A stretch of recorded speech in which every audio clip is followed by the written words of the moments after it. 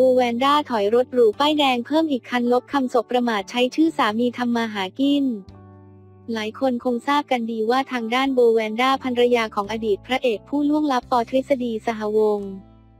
ที่เจ้าตัวมักจะโดนด่าเอาชื่อสามีทำมาหากินอยู่บ่อยๆ ซึ่งก่อนหน้านี้ทางด้านโบแวนด้าก็ได้ออกมาสวนกลับถึงประเด็นดราม่าดังกล่าวว่าไม่เป็นความจริง เพราะเงินทุกบาททุกสตางค์ที่หามานั้นก็เป็นเพราะตนทำงานทั้งในและนอกวงการ จากนั้นทางด้านโบแวนด้าเปิดตัวแบรนด์สินค้าวีดา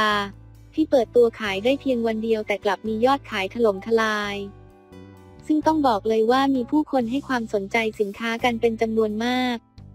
ซึ่งก่อนหน้าต้องบอกเลยว่าทางด้านโบแวนด้าได้ถอยรถหรูป้ายแดงปอร์เช่ 911 ราคาเริ่มต้นเบาๆ 10 ล้านบาทจากเงินน้ำพักน้ำแรงในการขายสินค้าแบรนด์วีดาให้เป็นของขวัญตัวเอง ซึ่งต้องบอกเลยว่าโบ แวนด้านั้นได้ลบคำศพประมาทหลังเคยโดนว่าใช้ชื่อสามี ปอทฤษฎีทำมาหากิน ล่าสุดทางด้านโบแวนด้าได้ออกมาโพสต์คลิปรถหรูป้ายแดงคันใหม่ของเจ้าตัวที่มีลูกสาว น้องมะลิ